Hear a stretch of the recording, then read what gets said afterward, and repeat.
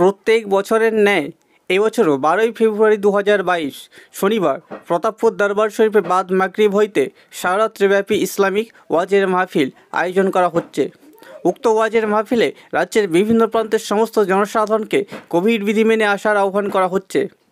এ বিষয়ে পীরজাদা সৈয়দ রুহুল আমিন ভাইজানকে প্রশ্ন করা হলে তিনি বলেন যে, প্রত্যেক বছর জানুয়ারি মাসের শেষ শনিবার প্রতাপপুর দরবার শরীফে বাদ মাগরিব হইতে সারারাত্রি ব্যাপী ওয়াচের মাহফিল হয়। কিন্তু এবছর কোভিড বিধিনিষেধ থাকার কারণে বারোই ফেব্রুয়ারি দু হাজার বাইশ শনিবার তা স্থির করা হয়। তাই সবাইকে কোভিড বিধি মেনে প্রতাপপুর দরবার শরীফে ওয়াচের মাহফিলে আসার আহ্বান করা হচ্ছে।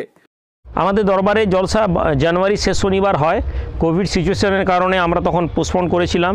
যেহেতু রাজ্য সরকার মেলাগুলোর অনুমতি দিয়েছে মেলার প্রোটোকলকে মেনেই আমরা আম, যেভাবে খোলা যতটা ইয়ে করার সোশ্যাল ডিস্টেন্সিংয়ের আবেদন রেখে মাস্ক স্যানিটাইজার করে আমরা মানুষদেরকে আহ্বান করেছি, কিছু কিছু মানুষ আসবেন।